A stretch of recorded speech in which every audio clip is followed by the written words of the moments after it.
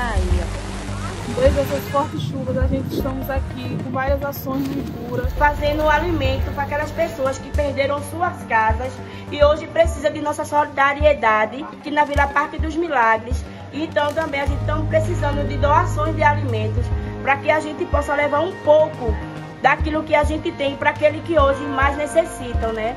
Material de limpeza, higiene, água, que hoje é o que mais estamos precisando, né? Contamos com cada um de vocês. Nós estamos aqui em Dois Carneiros, tentando chegar numa comunidade indígena que tem logo ali próximo, mas tá difícil o acesso, as, as ruas estão meio difíceis de chegar, mas nós vamos tentar garantir pelo menos uma refeição para essa galera hoje.